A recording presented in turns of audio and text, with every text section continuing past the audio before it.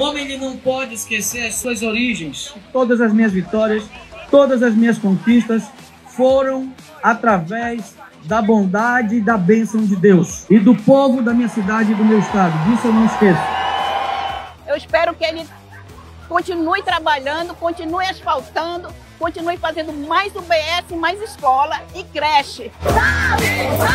Eu estou aqui essa noite para apoiar o nosso prefeito Davi Almeida, porque ele está fazendo um excelente trabalho na nossa cidade. Então, para ele continuar esse trabalho, a gente precisa apoiar e lutar para que ele continue nos próximos anos. Esses quatro anos de gestão, ele fez um trabalho excelente, deixou a cidade maravilhosa, as feiras todas reformadas, é, os pontos turísticos da cidade. Com isso, eu estou aqui hoje para apoiar ele e tenho certeza que nos próximos anos ele vai continuar esse excelente, maravilhoso trabalho. Muito obrigado pela presença de todos vocês.